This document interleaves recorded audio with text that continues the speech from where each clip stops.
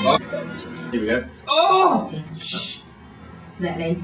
Before we leave you tonight, there was an unexpected visitor to Tasmania's north coast. These pictures were captured mid-afternoon. a single southern right whale enjoying the crystal clear waters of Bridport. The mammal was in no hurry to leave Anderson Bay, resting up on its journey back to the Southern Ocean. It drew a crowd of spectators on the shore, but parks and wildlife officers have issued a warning for people not to approach the whale in the water. Oh, Fucking. Hey!